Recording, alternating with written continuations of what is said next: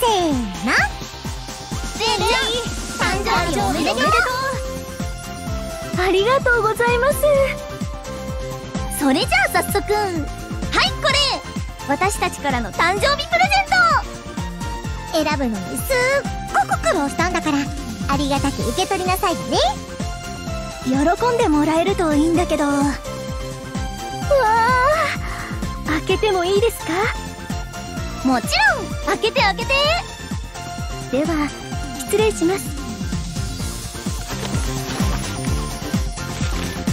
これはかんざしですね。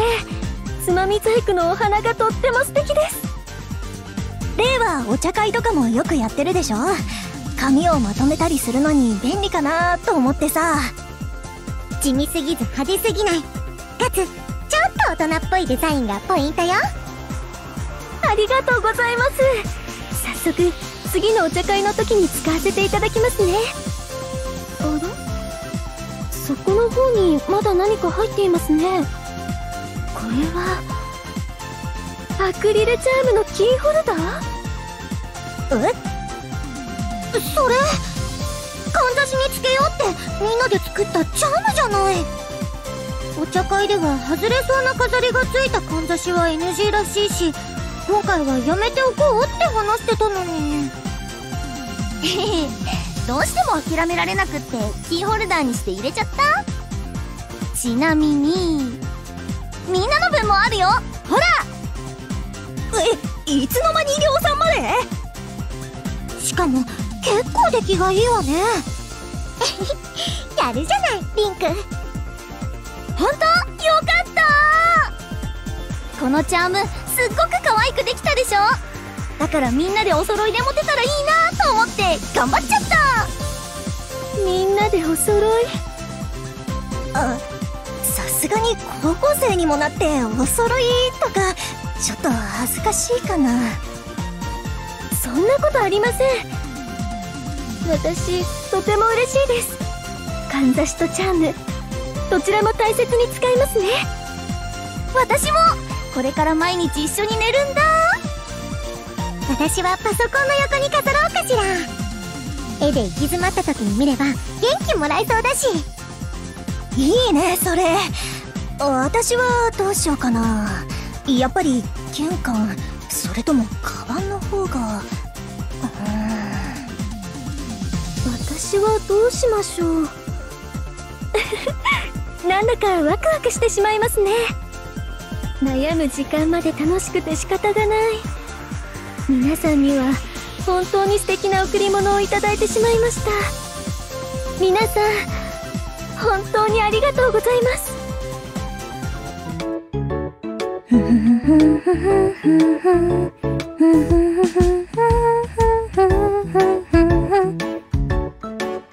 まほちゃんご機嫌だねだってずっと探してたアナログ版を見つけられたんだもん。来た甲斐あったな。みんなも付き合ってくれてありがとね。まったく1時間以上探してるんだから。ま中古のゲーム屋さん見てたからいいけど。探し物が見つかったのなら良かったですしかしそれにしてもここは不思議な場所ですねちゃんあんまりこういうとこ来ないの？はい普通の商店街は稀に通ることもありますがここは少々あの ここ怪しさ抜群よね。普通の店も多いけど奥の方に行くほどわけわかんない店も多いし。そうですね。率直に言うと大変不思議な場所に思えますあの悪い意味ではなくとても興味深いという意味で。じゃあせっかく来たんだしちょっと寄り道して遊んでいこっか。みんな時間あるでしょ？はい。まあまずはここよね。巨大中古コミックショップ。コミックショップ？漫画屋さん？なんか入り口にいろいろ立ってるよ。へんてこなオブジェもたくさん。あこれ向こうでも流行ってたアニメのやつだ。ここれはお店の中に神社のようなものが一体何なのでしょうか？順調に初心者の洗礼を受けているわね。ここら辺はサブカルの聖地って呼ばれててさ。さっき私が言ったレコード屋もそうだけど音楽アニメ漫画ファッションあらゆるジャンルのマニアックなお店が集中してるんだ。聖地そんな尊い場所だったんですね。お清めとか必要でしょうか？私知らないことばかりで。ああいやここはむしろ。大丈夫よ。なかなか普通の人は知ることないから。そそうなのですね。奥が深いです。姉ちゃんこっちにガチャガチャの機械が大量にあるよ。え？リンクさん今行きます。次どこ連れてこうかしらねまあメジャーなところは一通りブラッドを巡るか。あのはしゃいでしまってごめんなさい。あまりにも見たことない世界だったもので。いいのよ。普通の人でもそうだからあんたなんか特によね。昭和の時代からほとんど変わらないような一角もあるみたいだから楽しいよねさっきのお店でよくわかんないぬいぐるみ買っちゃったんだけどこれなんだろう？多分それよくわかんないって正解よ。皆さん今日はありがとうございました。とても勉強になりましたし何よりすごく面白かったです。そりゃよかった。まあめぼしいところは大体見たし今日のところはこれで引き上げ。ちょっとあんた何言ってんのよ？ここに来たらあれでしょ？あれってあああれのこと？え例にやりすぎじゃない？そんなことないわよ。むしろ当然のもてなしよ。ん？わわわあの皆さんこれは 名物でお願いしたら通じたでしょ？そそれはそうですがこれはあまりにもソフトクリームが1234 8 8段もあるよ姉ちゃん。かわいい。それがここに来たら必ず頼むべき一品。名物八段ソフトよ。そのままだけどあんたも頼んだことあるの？当然。そして当然後悔したわ。ムニさん。冗談よ。普通に美味しいから食べてみなさい。これ私の顔の倍くらいの高さがあります。こんなもの本当に食べられるのでしょうか？結構あっさりしてるから大丈夫よ。どれどれ一口ちょうだい。ペロッと。あほんとだ。甘すぎなくて食べやすい。本当ですね。しかも8種類もあるのにどの味も美味しいです。私にも一口ちょうだい。私ももう一口。あバカ。一度に行くと。キャー。ソフトクリームが倒れそうですうわーごめん。どうして真帆ちゃん。ええどうやって？手で？真帆さんソフトクリームを手でなんて。じゃじゃあどうやるのさ？真帆ちゃん下。下でペロッと下。真帆さんお願いします。よよし。リンク左右から。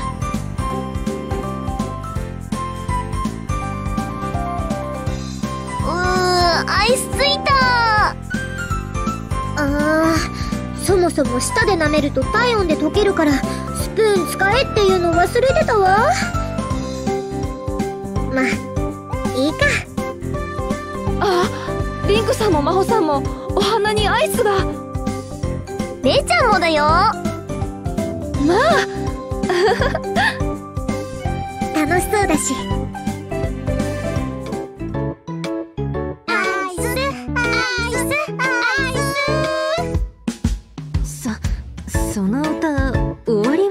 せんの？いや歌っているとなんだか楽しくなっちゃって。楽しみだよ。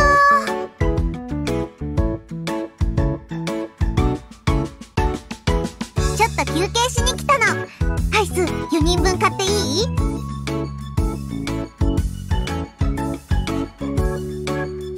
あのとわさんつかぬことをお聞きするのですが。でお出ししている焼きとうもろこしやフランクフルトどのような味がするんでしょう？え食べたことないの？は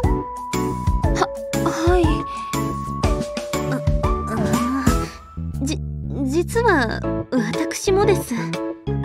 わーおびっくりだよ。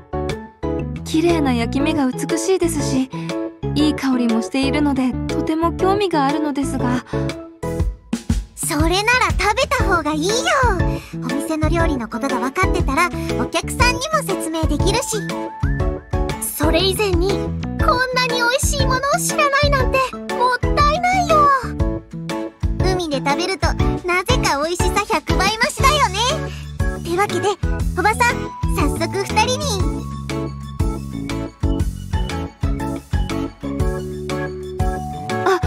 ありがとうございます。おばさまいただきますわ。焼きとうもろこしですがお客様を見る限りこのままかぶりつくのが作法なんですよね。それが一番美味しい。では私はフランクフルトをお先にいただきます。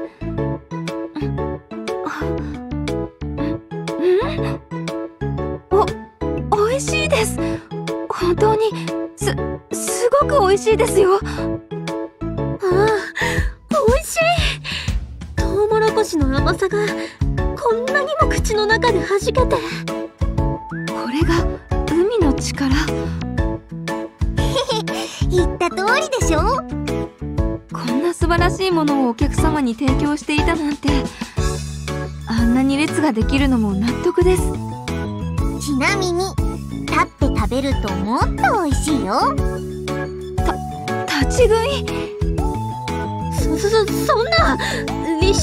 ティーでもないのに立ったまま召し上がるなんて。いえ春菜さん。私実は立ち食いをたしなんだことがあるんです。なんですって？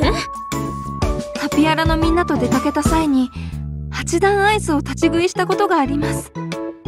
理由は分かりませんが歩きながら食べているとなんだか心が躍るんです。アイスも美味しかったですあれは高レベルな食事法でした。ですがお父様が見たら倒れてしまうかも。私が思う最強の食べ方は焼きとうもろこしとフランクフルトの立ち食い二刀流だけどね。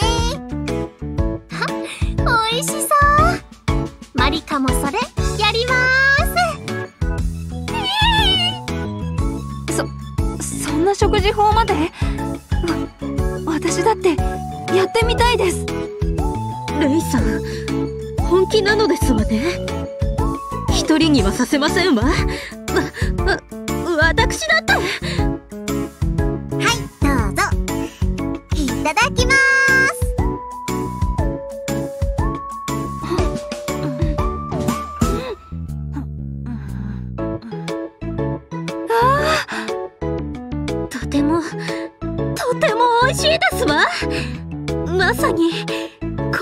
これこそキンキの味。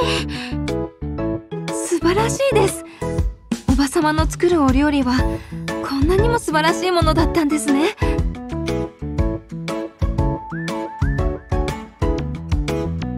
いえ焼き加減によっても味は変わってくるでしょうしそれにお料理の味は器や食べる場所の雰囲気も含めてのものだと聞きます。そうですわ。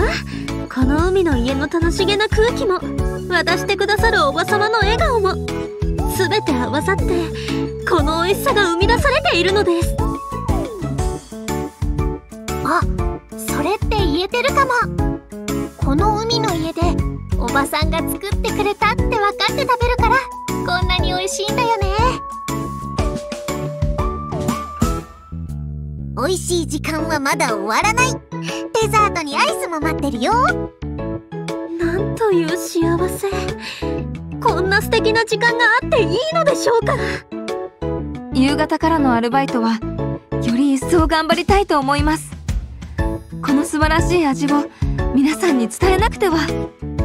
頑張りましょうレイさん。はい。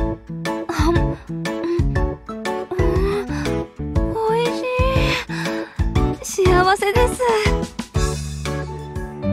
バレンタインのお茶会だから和とチョコの融和を目指してみた。か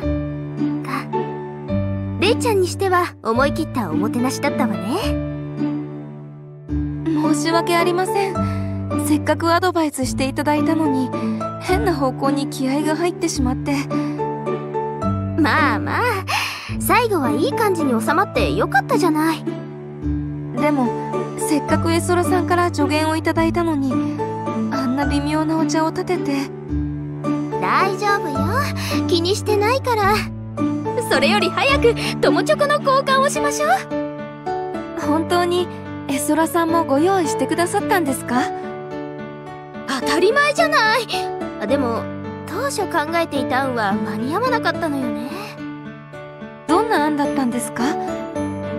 お菓子の家を作ろうと思ってたのよ。まあ可愛らしい。子供の頃絵本で読んで憧れました。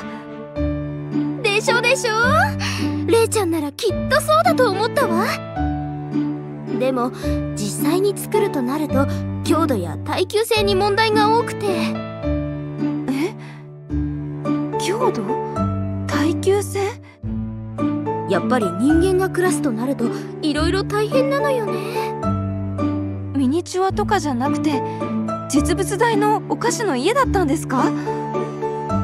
ええそうよ。レイちゃんと遊びに行ける別荘にしようと思ったの。実現できなくてよかったかもしれません。でもまだ諦めてないわよ。今回は間に合わなかったけど来年こそはお気持ちはありがたいのですが私はもう少しこじんまりとした方が。ということはワンルームくらいがお好き？いえ部屋の大きさではなくもっと普通のチョコを交換したいなぁと。本当に？それならちょうどよかった。今回は普通のチョコしか用意できなかったのよね。そうだったんですね私はそれで十分です。隣の部屋に特大のチョコファウンテンを設置したの。後で案内するわね。ちょちょっと想像した普通とは違いますけどありがとうございます。それでレイちゃんも私にチョコを作ってくれたの？はい。日頃の感謝を込めて作りました。受け取ってください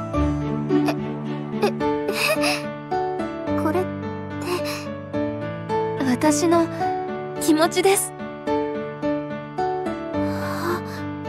ハートエソラさんはラブリーがお好きなようでしたのでハート型にしてみました。そうですか。ありがとう。そうですか？エソラさん急に口調があのどうかされました？なんだかお顔がどんどん赤くなられてそう？す少し部屋の中が暑いですね。空調を見てきます。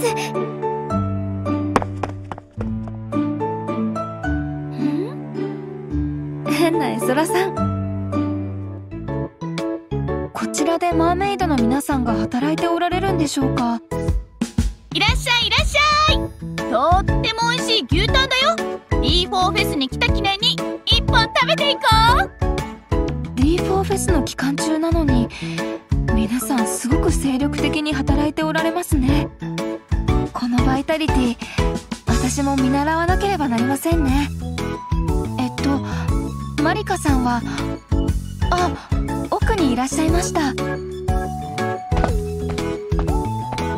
んにちは。レイちゃんだ。やっほー。どうしたの？お仕事中すみません大盛況ですね。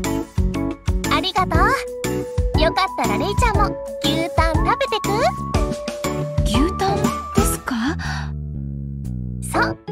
牛タンを串焼きにしてあるから食べやすいよ。まあ歩きながらいただくんですか？それはお行儀が。いえきっとそれが串焼きのお作法なのですね。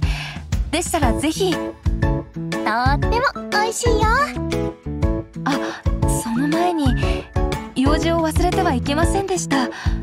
マリカさんこの後休憩に入られたりしますか？休憩？うーん。合ってないようなもんかな。うちって全体的にその場のノリでやってるから。リカッチ？マリカ今から休憩行ってくるね。え？え？今？ちょ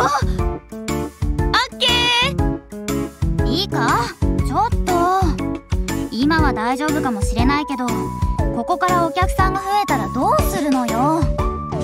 大丈夫。増えない増えない。増えたらその時に考えればいいんじゃないかな。ダリアまで！あの大丈夫なんでしょうか？いいのいいの。3人もいるんだからなんとかなるなる。ははあ手短に今日は姉から伝言を預かってまいりました。急な仕事が入ったので皆さんの応援に来られないと。ああそうなんだ。残念。でもお仕事なら仕方ないか。わざわざ伝言ありがとう。いえお届け物もありましたのでこれ姉が皆さんにお渡ししようと思っていたお土産なのですが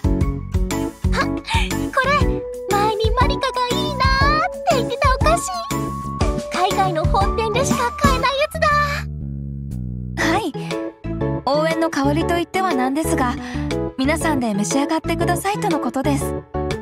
ありがとう。じゃあ今回も海外なのかな？はい。半月ほどの予定だそうで。相変わらずの大活躍だね。そうですね。おかげさまで姉は相変わらず忙しそうにしています。あれ？じゃあ初日のレイちゃんの出番には？はい。そちらにも来られないようで。えー、残念だね。やはりお仕事の方が大切ですから。レイちゃんやっぱりいい子だよね。いえそんな恐縮です。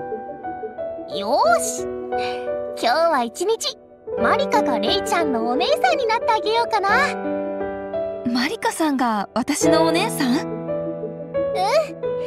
一緒にいろんな出店を回って美味しいものを買ってあげるの。お姉ちゃんに任せなさいって。それは楽しそうです。って言ってもさすがにここから離れたらみんなに迷惑かかっちゃうか。そうですね。なのでお気持ちだけで十分ですよでもな。あ そうだ。ちょっと待ってて。お待たせ。これうちの店の牛タンだよ。たくさんあるからよかったらみんなで食べてね。わあこんなに温かくってとっても美味しそうな香り。マリカさんありがとうございます。ピアラのみんなでいただきますね。